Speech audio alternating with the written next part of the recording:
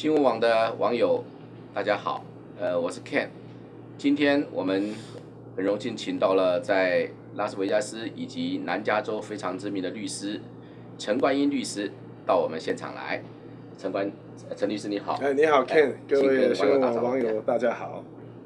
呃，我们知道陈律师啊，他经常在维加斯跟洛杉矶两地这个来回的奔波，服务两地的侨民啊，以及这个有关法律上的问题。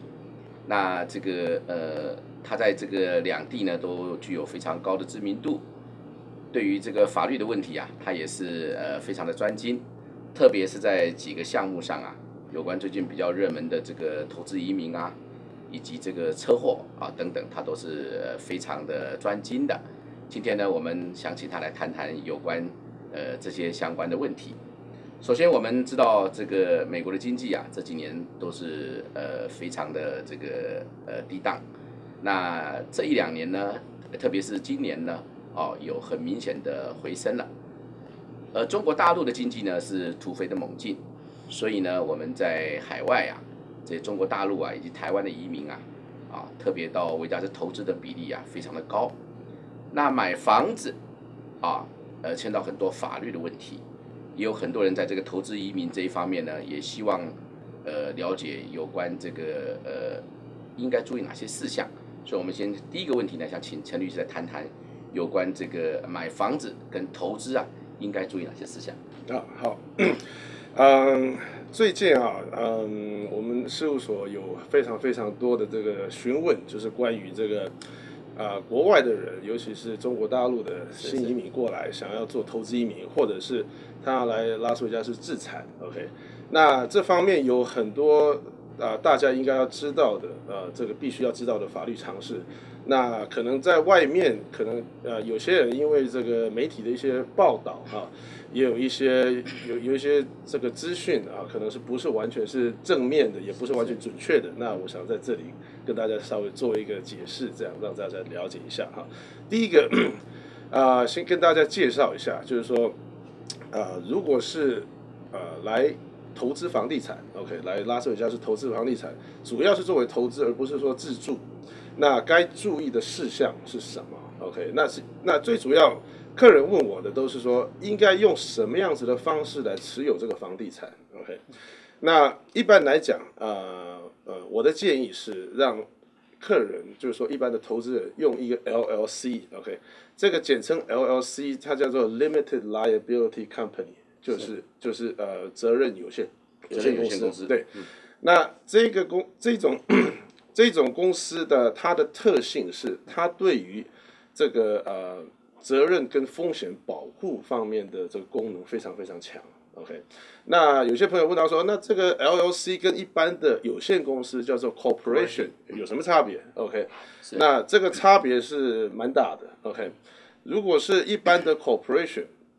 可以预防的责任，OK，可以保护这个的责任的话，通常是外面的责任。OK，我们讲外面的责任，就是说，如果说今天呃，假设说，嗯、这个公司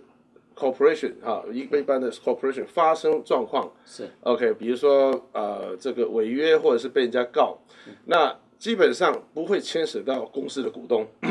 只会牵扯到公司公司的资产。corporation 股对。东不用负责。对，没错，这个是 co- corporation 的的一个好处。OK，那同样这个好处在 LLC 我刚刚所讲的 limited liability company 也具有的。也具有的。OK，所以说如果说今天你你买房子或是你做生意，你是用 LLC 或者是 corporation，、万一被告了。在绝大多数来讲，OK，那个股东是不用负责，除非股东有私人的行为，比如说有私人过去去私人过失或者是诈骗这类的哈。要要是没有这些行为的话，一般来讲啊、是不用负责的。OK，就仅于公司，仅于公司负责，对，那那那等于你公司的资产赔完了也就结束了，OK，个人不会受到影响。可是，在另外一边，就是说我们从内部的内部影响出来的这个责任的话，OK，那在这方面的话，LLC 的功能要比 corporation 要大很多很多。OK，那我举个例，大家就知道了。OK，如果今天是内部，我们讲内部就是公司的股东啦，哈，假设我持有这个 corporation 一个股票。比如说我今天，那你你大家知道这个这个很多股票也是在在在在交易市场 trade 哈。假设我今天有一个 Apple 的股票，嗯，OK，那我今天开车我把人家呃创伤了，创了做了很做呃创了很大的很大的伤害，OK，那我自己保险不够付，OK，那这个受伤的人来告我的时候，他一旦告赢之后，他可以怎么做呢？他可以把我公司的公司的资产拿走，因为我手上持有一只 Apple 这张股票，他可以要求法庭把这张股票派给他拿走，OK，那。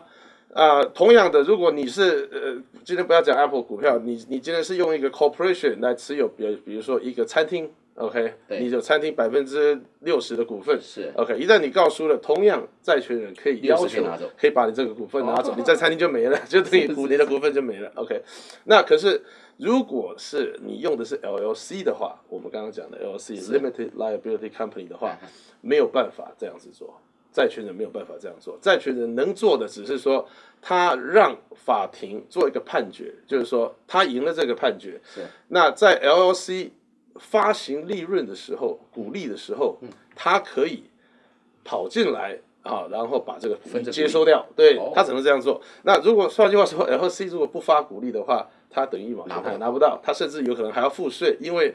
因为他如果向法庭申请，他要拿这个鼓励的话，或或者是怎么样子的话，现现在虽然没有发，可是公司有盈余，那个公司在做账的时候就可以说，哎，这个这个以后是要发给这个人的，所以先也先要他付税这样子。OK，所以在这种情情形之下，很多人会放弃。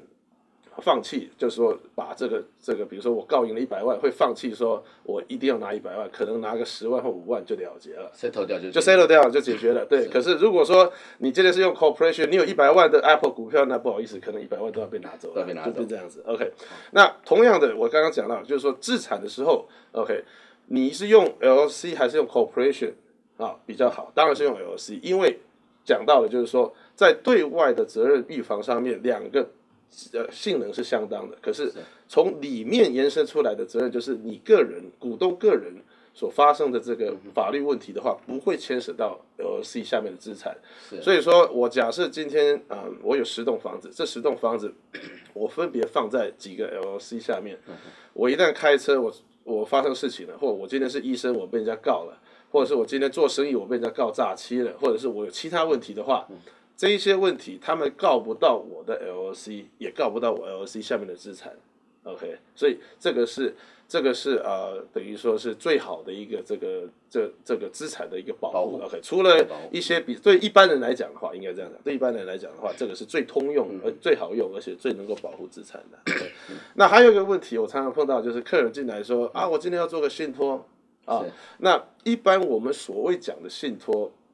一般的大家所知道的信托是指生前信托。当然，信托实际上分好多种，最主要分两类，一个是可撤销跟不可撤销。那一般人所了解的都是一个可撤销的信托，那我们所谓的叫做生前信托。生前信托，大家为，大家以为说有一个迷思，就是说，哦，我做了生前信托，我我就可以保护的这个资产，那这是完全的错误。OK，这点大家一定要一定要知道。OK，你做生前信托最主要的目的是做遗产规划，能够让这信托下面的你的财产能够用最顺利、最快，然后最呃省钱、最经济的方式，能够传到你的这个这个受益人，而不是说而不是说做完之后你的所有的财产都不能被告了。OK，绝对没有那回事。如果任何人讲有这个的话，那这个这个 太离谱了 我太离谱了。万一被告，这个要倒要倒大霉。那可是外面还是有很多很多朋友都有个误解是有个误解。OK，所以啊、我刚刚介绍了一下这个啊、哦，还有一点我要提一下，如果说啊、一个投资人他有很多资产的话，呃，比如说我们来拉斯维加斯来，有我看过有一些客人一次买二三十栋房子，OK，、像那种情形的话，我不会建议客人一次用一个 LLC 来持有二三十栋，为因为如果说二三这个这个 LLC 它的功能是是把它的责任。呃，包含在他公司的资产里面。换句话说，有人告这个 LLC，最多就是 LLC 赔掉，而不会影响到我个人的资产。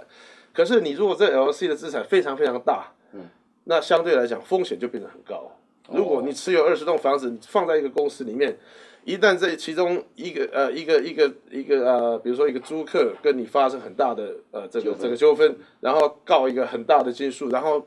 他又打赢了，OK，你可能这 LC 里面的就就被拿走了，就是哦所有的，因为 LC 是被告嘛，被告下面的财产总总是会被拿走的，OK，那所以在这种情形，我通常建议说，呃，给客人说，你可以分几个 LC，OK，你把好的就是说资产，就是风险低的资产，比如说像 single house，OK，独立房子。啊、放在一个 LC，比如说两三个独立房子，你把 apartment，如果你买公寓的话，你放在另外一个 LC，因为风险不一样。你把父亲的房子放在一个 LC，那没有父亲的放在另外一个 LC，OK，、所以把它这样资产、这样风险这样完全分散。那万一哪一个真的出了很大的问题，也不至于牵扯到你其他的公司下面的资产或你自己的资产。呃，我们知道这个拉斯维加斯是一个内华达州啊，它是一个免税的州啊，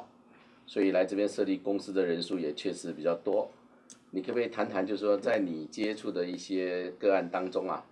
比较特别的例子嗯啊？因为你帮他处理的这一个公司的成立啊，比如说成立了 LLC 的公司，让他的资产能够获得保护啊，呃，比较特别的例子，可不可以举举简单举个例子？呃，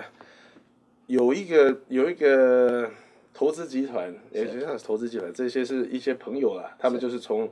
加拿大那边过来的一些华人。OK，那他们刚开始来到这个城市，他也不认识任何人。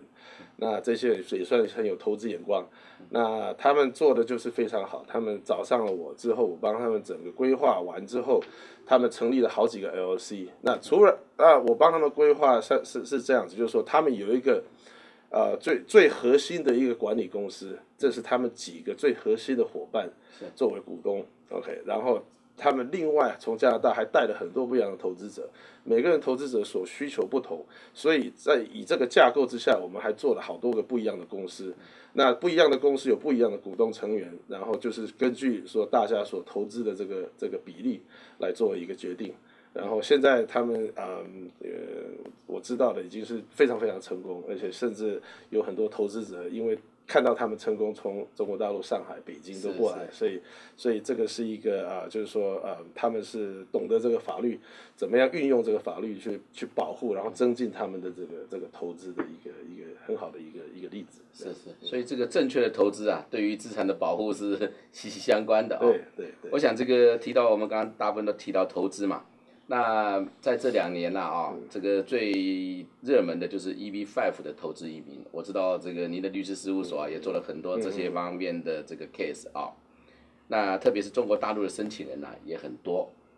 目前是不是呃美国国务院对这这方面的移民的额度啊，一年是不是一万个名额？对，嗯，那您可不可以先谈谈这个 EB five 这个投资移民啊？我我对不起，因为呃，我们了解说这个 EB five 投资啊，在美国已经也有一些就是被诈骗的例对对子啊。对对对对对。对于海外的投资者啊，呃，确实心理产生了一个影响。对。那如何避免踏入这个这个诈骗集团的陷阱啊？我想是很重要的一个议题啊。对。那请您这个这个就这方面来给我们做一个说明。这方面的确是呃，资讯可能所有的法律这个板块里面，资讯最参差不齐的，呃最多有最多误解的地方就是投资移民。OK，是是。嗯呃，第一个我想跟大家讲，就是说投资移民，呃，现在最近当然是有很多很多这些不好的这些报道。OK，包括前一阵子在芝加哥一个很大的一个投资移民案子，对不对？被人发现那完全就是一个骗局。OK。全美国这种投资移民这种特别的这种啊、就我们所谓讲叫做 regional center，就是区域中心。OK，呃，现在应该有超过两百个了吧？哈啊，全美国。那 OK，那这些区域中心，他们最主要最主要的目的，一般来讲就是说，它能够让让做投资移民的人，他能够以比较低的门槛，就是五十万，能够能够来做投资，然后投资完之后啊、他们也不需要去呃真正去参与管理。OK，像一般传统投资移民是一百万，那你必须得要去管理这个你投资的这个事业、o k 然后去请十个人，直接雇佣十个人。那这些 regional center 就是这些区域中心，并不需要这样做，你只要丢个五十万，50万可能再加一些管理费，然后呃就是呃就可以搬来美国住，然后你也不用去管这个公司。OK，那最大的问题是什么？所有这些呃 regional center 这些区域中心，他们在向美国移民局申请申请这个呃投机移民的这个资格，申请这个案子的这个资格的时候，基本上来讲都是纸上谈兵。就是说我今天假设我今天要做一个影城，OK，我跟移民局讲说我要做一个呃很大的影城，我总共投资要呃五千万，嗯，五千万美元，假设了哈，嗯，那五千万美元的话，那就是五百个，啊，一百个，对对对，一百个，对，一百个投资人，对不对？好，那我写的很大，OK，那最后我如果招商，OK。没有招到那么多个的话，OK，那这个在移民局里面，OK，就是说你当初写的目标你没有达标，OK，达标。因为移民局当初让批准你这个影城，是根据你自己所写的，你说你可以达标，你可以花到，你可以招到这么多钱，你可以把这些钱全部应用下去，然后可以招到这么多这么多啊投资家，然后可以雇佣所有的这些人，OK。那结果五千万没有达到的话，你如果招到一千万、两千万或多少的话，那可能到最后的话，你这案子对你这案子到后来你没有办法达成以前的那个标准的话，是。很可能在最后要申请永久性绿卡那一关的时候就被拒绝掉。OK，所以说 大绝大多数多数这些呃投资移民这些案子区域中心，嗯我所看到的，你要拿临时绿卡是非常简单。嗯，OK。这个是纸上谈兵，你只要你只要申请，基本上就可以过了。只要你财产来源是可能可以证明是税后的合法所得，OK，投资人可以证明这个，那那基本上没有问题。可是最大的难题在哪里？就是要拿到无条件绿卡，无条件绿卡，那个那个就是所谓的永久性绿卡，那个部分就是一个很高的门槛，因为要拿到那个那个那个绿卡的时候。你的这个投资的这个案子，这个这个区域中心必须得要证明，他当初所讲他所要达标的、要做到的，全部都做到了。OK，那如果说呃他没有做到的话，那可能这个这个就会被无限制延期，甚至会被取消临时绿卡。OK，那全美国这这么多的案子，这么多的这些呃投资投资移民中心这些区域中心，真正能拿到永久性绿卡的不多。OK，那。有少数几个区域中心，他们有拿到永久性绿卡，OK，那啊，我给客人的建议就是这样子的，我绝对不看这个案子广告有多大，是或有什么政府支持，或者是他有什么保证，那个都是假的，OK，那都是幻或者是虚幻的。我要看的只是看他的记录，他从创立到现在到底有多少个临时绿卡拿到，嗯，百呃批准的百分比多少？然后接下来你要问看看，永久性绿卡到底有几个拿到？所以说这个临时绿卡是几乎是没有保障的。啊，也不是说没有保障，临时绿卡你拿到的时候，那只是让你进来美国而已。哦，对，如果你你的最最后目的你是要拿到永久性绿卡的话，你那临时绿卡要要要要要升到永久性绿卡，那个那个那个呃步骤是最难的步骤。对，因为那个步骤就是基于我们做一般。区域投资的这种投资人来讲，你没有任何的 control，你没有任何的控制，因为这个整个事业不是你在操作的，是别人在操作的，所以说。我的我的我呃我我我我的重点就是说，你要让别人去操作你的金钱，你要看看他这几年他操作了多少项目，他的成功率多少，有几个人拿到永久性绿卡。如果他拿到的话，是，然后成功率是非常非常高的话，我觉得这个是比较可以信赖的案子。但是我的了解哈，这个 EB5 的投资移民的申请人呐，很多人只是认为说我有五十万就可以等于是买这个门票一样了。但他对于这个所谓的区域中心整个的内涵呐，他都不了解，所以呢，往往后面受骗的就是这么一回事。对，没错，没错。他应该怎？你就说陈律师在你的专业啊，怎么样来提醒这个投资人，你来慎选这一个呃 EV five 的投资移民？好，对，有有有两个大家特别要注意的，就是说，除了我刚刚讲的，你要看看他的记录以外，哈。啊，像我去中国大陆的时候，看看有一些有一些中介广告，或者是那种这些这些外面在宣传的资料。如果你看到一个一个投资移民的案子，他说保证，嗯，啊，保证，或者是有我们抵押给你啊，我觉得这个最好不要去碰啊，这个有问题，对，因为因为在法律上来说是不能够保证的，OK，因为美国法律规定这个钱必须得要有风险。是。哪怕是很小的风险也可以，是是。绝对不能说保证。是，OK，绝对不能说没有风险。如果我今天啊、呃抵押一栋房子给你，我说万一你这个钱亏了，我这个房子就抵押你就可以拿走，OK，如果这样子的话，那不好意思，我看绿卡绝对拿不到。的，最后这个一定会出纰漏的，这是第一点。第二点，很多可能在啊、亚洲生活的民众，他以为公家的这个权威很大，所以说啊、美国有一些做这些案子的这些人，他们就是把政府搬出来，就说啊，这个什么休斯顿政府、西雅图政府什么什么什么，就是用公家的名义出来。对，可是大家要了解，在美国这些政府绝对不会向你保证你的投资的。你去问看看所有在美国住很久的或者是很很有经验的投资人，哪一个政府真的向任何一个民间企业保证？嗯，几乎是没有的事情。OK，对不对？那那那如果说你看到哪一个投资移民案子，就是说哦，这个市政府保证。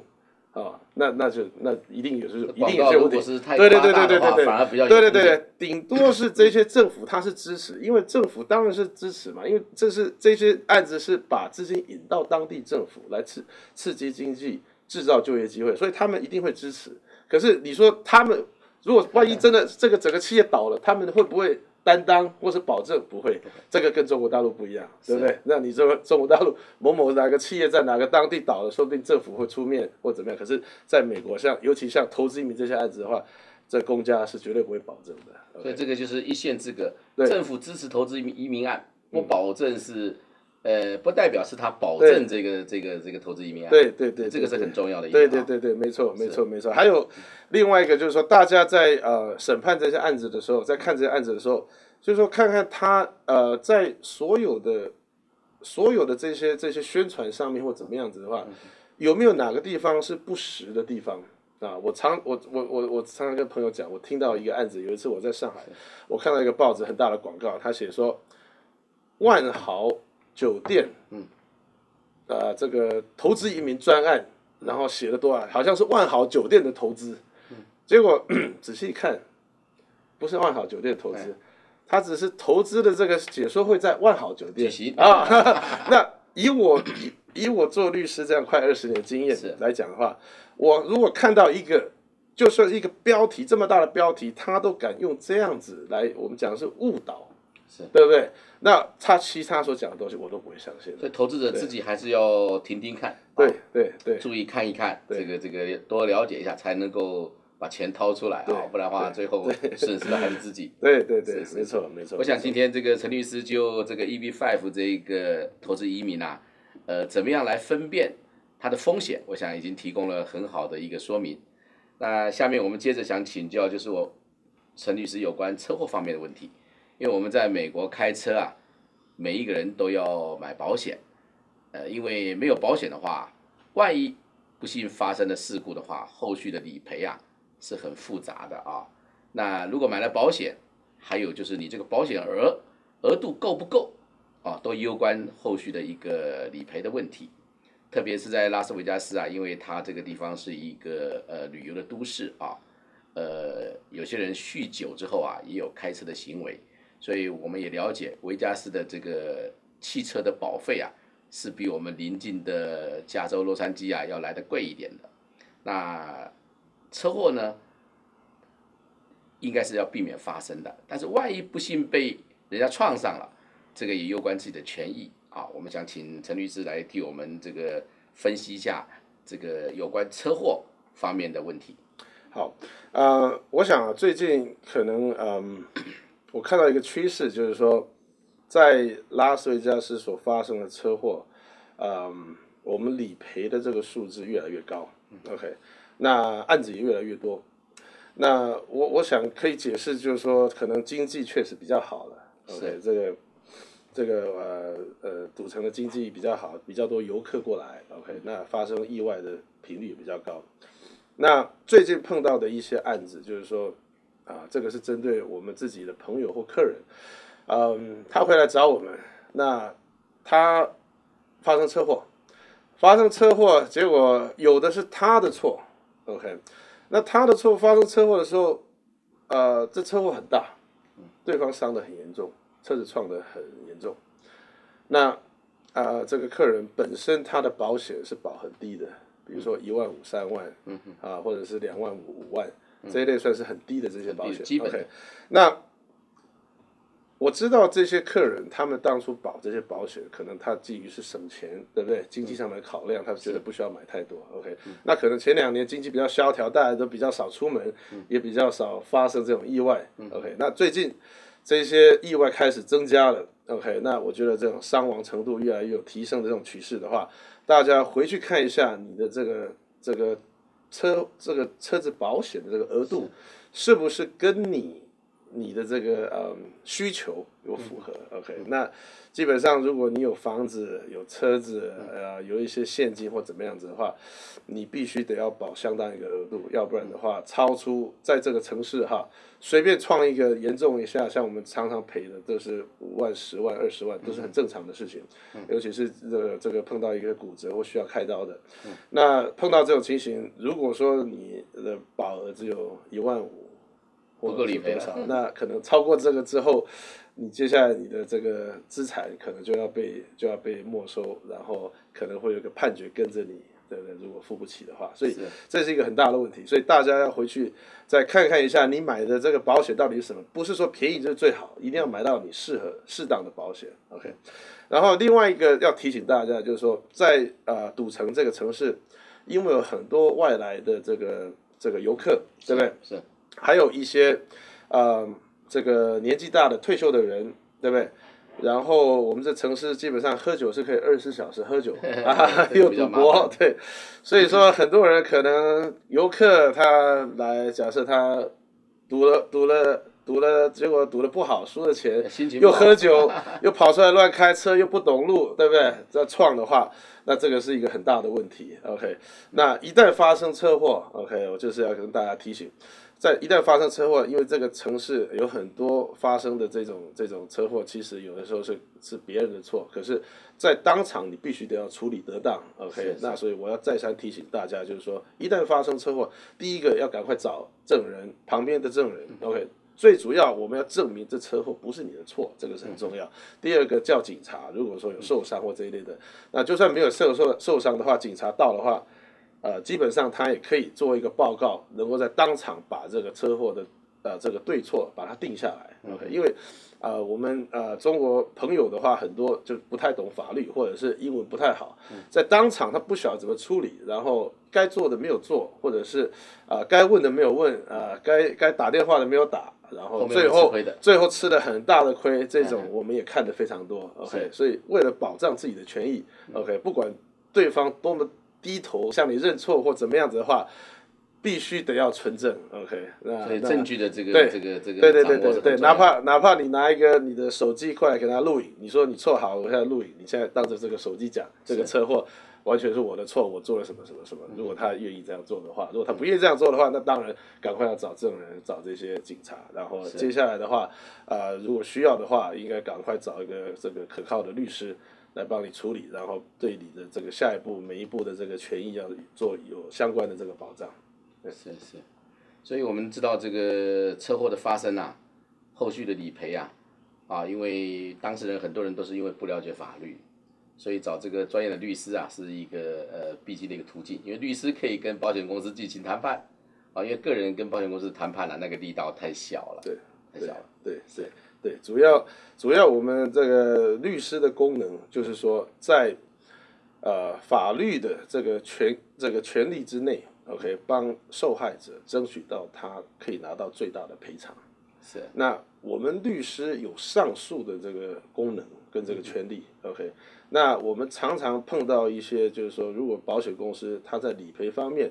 他要占客人的便宜，或者是他明明是一个。客人受了很大的伤害的，他不愿意拿出合理的理赔的这个这个这个方案的话，在这种情况之下，我们就就就会向保险公司控告控告他的受保人。那在这方面的话，我们有二十年的经验，所以保险公司基本上他他的这个理赔专员或者是他的辩护律师啊，在用什么样子的游戏，玩什么游戏，用什么把戏，我们基本上完全都了解。我们完全都了解。那基本上我也可以讲，因为保险公司对我们事务所也是相当了解。是是。从有时候我打电话给保险公司的这个律师或者是这个理赔专员的时候啊，他们会跟我讲说，哦，啊，陈律师，我知道你们这个律师事务所的怎么样怎么样怎么样啊，所以说这个案子我觉得没问题，我就以这样子的方案啊。这个赔给你，OK？那我觉得这个这个对我们来讲就是说，